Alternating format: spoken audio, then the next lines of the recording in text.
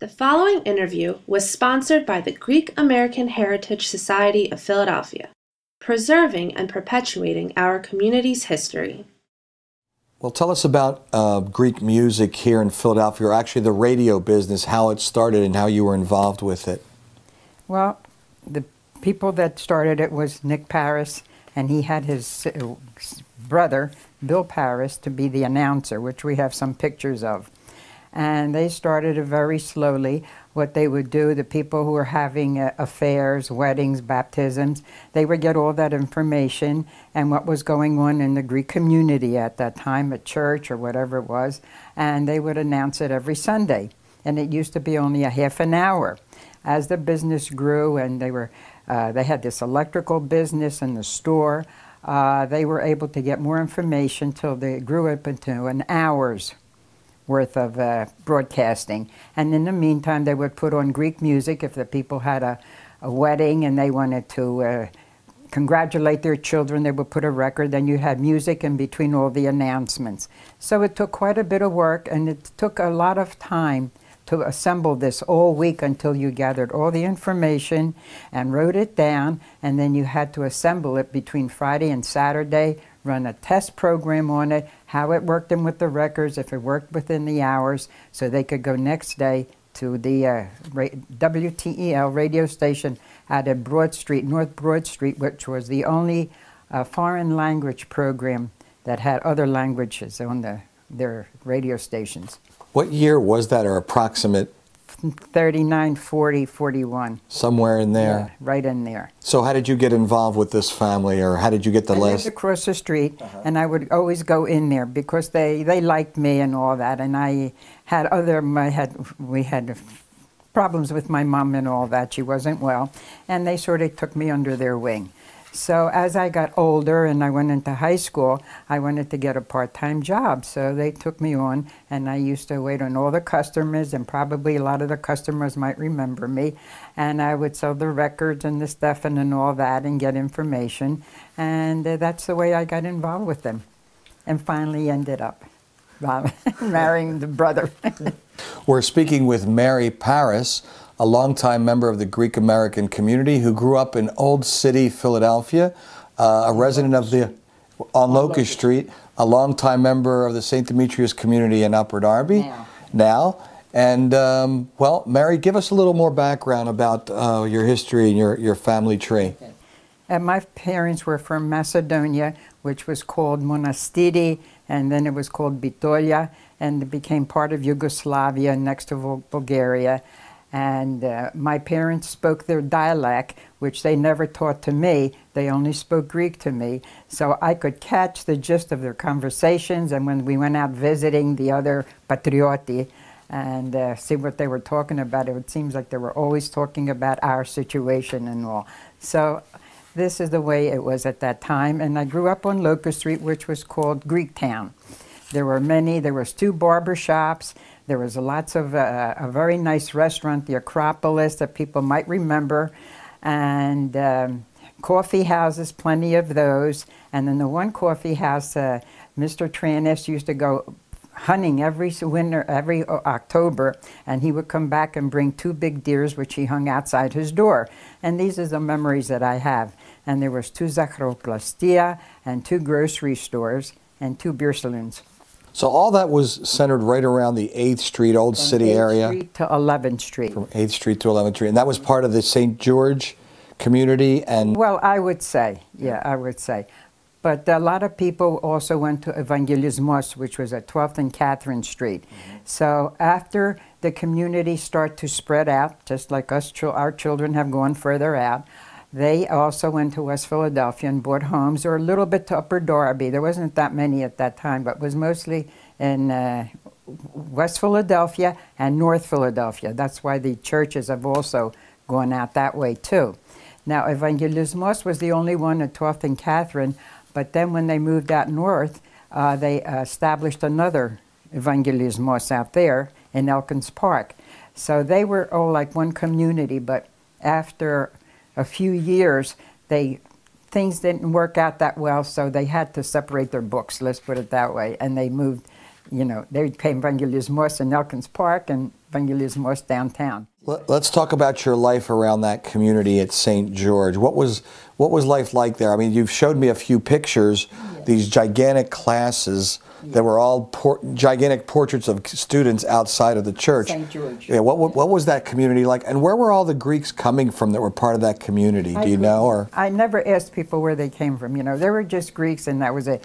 I would say the biggest ones were the Chotes. Yeah, they were a big, big group, and they were for years and years, and they've all petered off. The children and the grandchildren did not continue it. But uh, that and it could have been the Kefalonitis, I sort of remember that. And this was just, um, is there a special memory or something really special about that community that you that you really that you remember that you think, wow, I wish we still had that today? well, I still wish that the uh, young people kept up where their grandparents and great grandparents came from, because it's really, really nice. The Kefalonitis do it now when they have their uh, the Lenten dinner. They have the uh, Skordalja Okay. just before Lent, and they always did. They continue that, which is very, very nice. And uh, the others are that we were just we all liked each other, and we were just you know nice people. Well, And there was a lot of children that lived on Locust Street that I was uh, grew up with, but as the families moved out, uh, I was the only one left there. But the, it was a very pleasant uh, place to be. Tell us about coming out to Upper Darby and into the western suburbs. What was that like for you moving out here?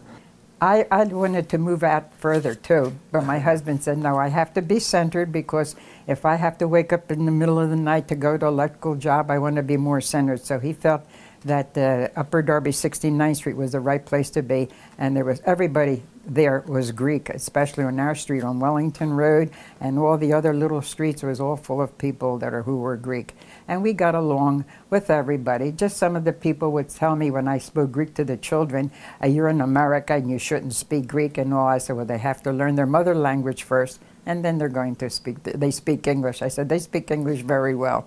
But that's the way it was in those times. And today, a lot of people tell me we're older. I wish our parents still let us, uh, taught us to speak Italian or Jewish or whatever it was.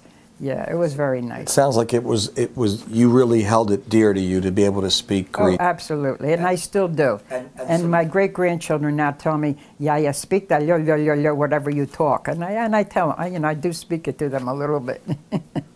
Are there other traditions that are uh, Greek that you uh, stand by and, and continue to to observe in your day to day life? spiritual part of it that has gotten away from us, which I don't like either, but uh, I can't do anything about that. We try to keep it up.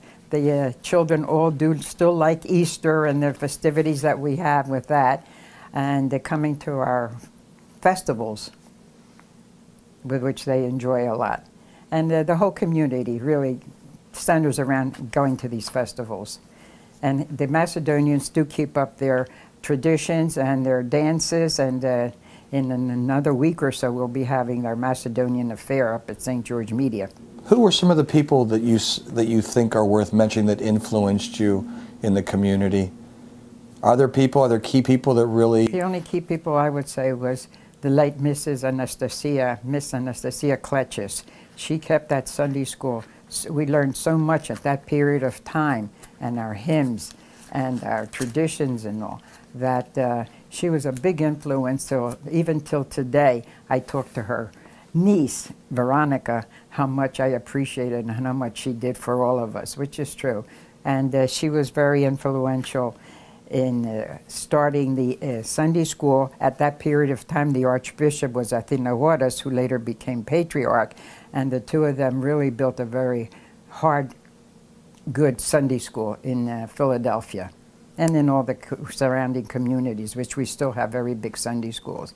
But as the children move and all that, some churches, the Sunday schools fall off, some don't. What I wanted to hear a little bit more about was the social atmosphere in the old city Greek community. And you called it Greek Town. Did people really officially recognize it as Greek Oh, Town? yeah. Because that's a term we don't hear anymore No, I in. Philadelphia. It was Greektown because we still say it. You know, where'd you grow up? In, in Greektown.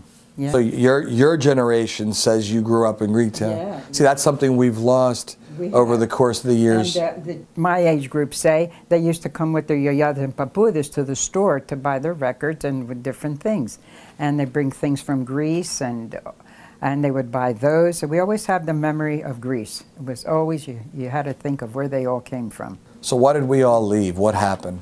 because you all came to make money. Yeah. That's the truth, and especially the last. They're not going to like this. The last few that came, it's been really bad. So, but we know we were the most of us that were, say, poor, didn't know it until now, because we had good family life. We went visiting name days and things like that, and it was always you had the other people to talk to and the young people and all. It, it was a different life. Now, for me, it was a little bit different because I was an only child, so I had to assume a lot of things myself. Yeah. Was would you say that the social affairs were better or were they different? Like the dances? Well, no, I, I would today say they're almost the same, except that we all wanted to get dressed up. Everybody Mm-hmm. A was key, very, yeah. Very well dressed, yeah. And the AHEPA fairs, you always had to wear a gown or something like that. Oh, no kidding. Yeah, yeah. It was very nice. Of course, when you got older, you did all this stuff.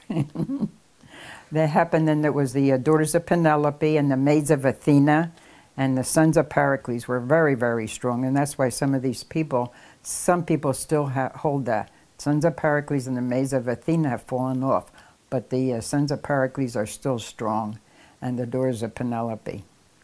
Now, where I my chapter, we're all aged, so it's very hard though to get women to come back into it. But it's a very strong organization that we still keep going. Tell us a little bit about the, what's the name of the chapter? Is that Pandora chapter. Pandora And we do meet at St. Demetrius Church once a month and keep it going. how long has that chapter been around? I would say 40 years. Yeah. Now you've been at St. Demetrius for how long? 60 some years. Because I would have been married 60 years. About 62 years. That's where you spent the bulk of your Yeah, t- your time. exactly. Yeah. Formative years were at St. George, that's for sure. So that's where The Greek school, everything. And the Greek school then uh, didn't have heating. We used to have the sorbas that you call them, and they would just heat every room. And we sat there, though, and we learned our Greek. when did you move out to Upper Darby then? What year was that? Do you Uh, remember? 54. Oh, well, you saw St. Demetrius was still on Larchwood Avenue back then, Oh, I yeah, think. yeah. Yeah. Larchwood Avenue, we saw it grow uh, on Powell Lane. I forgot about that. And yeah. Did you do you remember those first few years or those first few um, church services when Well, they yeah, moved? We, we met at a, uh church on 60th and Vine, I think it is. I think Uh-huh. they've since knocked it down.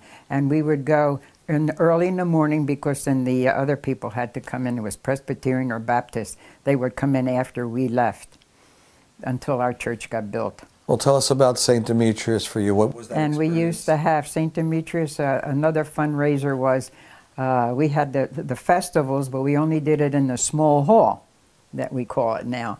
And uh, I used to dress up as Mary Poppins, which was a very famous uh, movie at that period of time, and fill my pockets with little things. And the children would come up to me for 25 cents, empty out my pockets. He was a girl or a boy. It was a lot of fun working with them.